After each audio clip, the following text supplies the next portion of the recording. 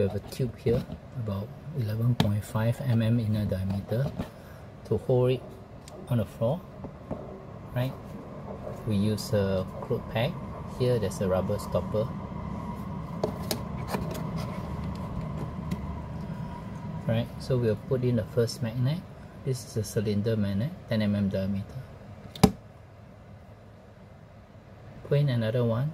Before we put in we'll test whether this side is a like poles on like poles. So if we want it to repel goes like that another one. Right, so it's a repulsion. Another one.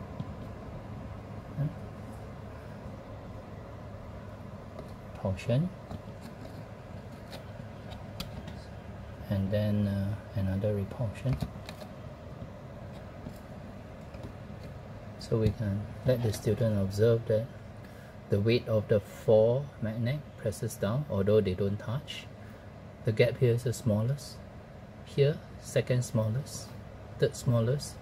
This gap is the largest right? Because here got less weight acts on this uh, magnetic field here